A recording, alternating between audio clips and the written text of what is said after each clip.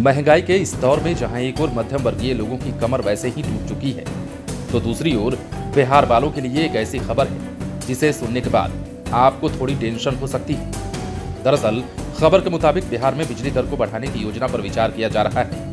कहा जा रहा है कि एक अप्रैल 2024 से बिहार के लोगों को बड़ा झटका देने की तैयारी चल रही है। तो क्या है खबर?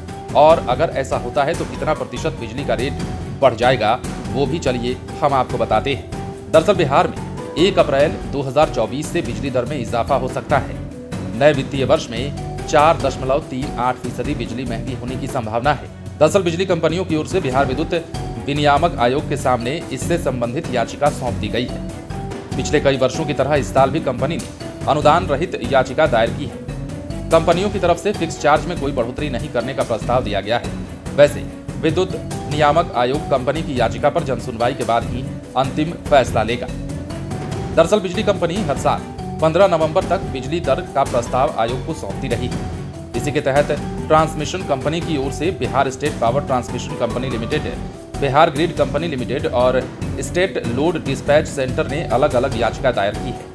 इसके अलावा घरेलू, व्यवसायिक और औद्योगिक श्रेणी के उपभोक्ताओं की बिजली दर तय करने के लिए north Bihar power distribution company limited और south Bihar power distribution company limited ने अलग अलग याचिका दायर की है। बिजली आपूर्ति के खर्चे में हुई बढ़ोतरी को आधार बनाते हुए तर्क दिया गया है कि वित्तीय वर्ष 2024-25 में कंपनी को चौंतीस करोड़ खर्च होने का अनुमान है। वर्तमान समय में बिजली दर से कंपनी को चौंतीस करोड़ की आमदनी होगी। इस तरीके से पाँच सौ पंचानबे करोड़ उन्यासी लाख का अंतर होगा।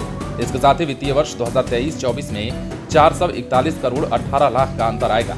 इस तरह कुल एक हज़ार छत्तीस करोड़ सत्तानवे लाख का नुकसान होगा।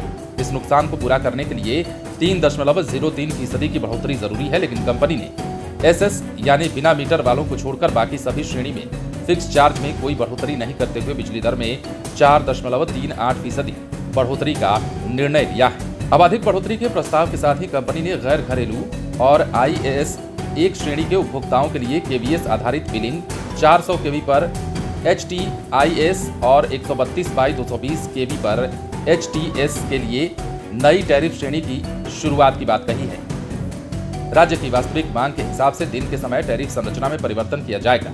समय पर ऑनलाइन पेमेंट करने वाले एचटी श्रेणी के उपभोक्ताओं को अनुदान भी देने का प्रस्ताव दिया गया है। सरकारी बिलिंग में भुगतान की तिथि में बदलाव होगा। होम स्टे यानी कि पेइंग गेस्ट प्रतिष्ठानों को घरेलू तारीफ़ में शामिल किया जाएगा। कृषि भुगतान के लिए उनकी कटाई के मौसम के हिसाब से बिलिंग संरचना को तर्क संगत बनाने का भी प्रस्ताव दिया गया है। सवाल ये है कि एक अप्रैल 2024 से यदि बिजली कंपनियों की बात पर सुनवाई होती है और इस पर कुछ फैसला आता है तो क्या बिहार वालों को बड़ा झटका लगने वाला है? क्योंकि तैयारी तो ऐसी ही है। और यदि ऐसा होता है तो बिहार वालों को बिजली का करंट लग सकता है मतलब बिजली दरों में इजाफा देखने को मिल सकता है। फ़िलहाल, बने रहे लाइव सिटीज़ के साथ।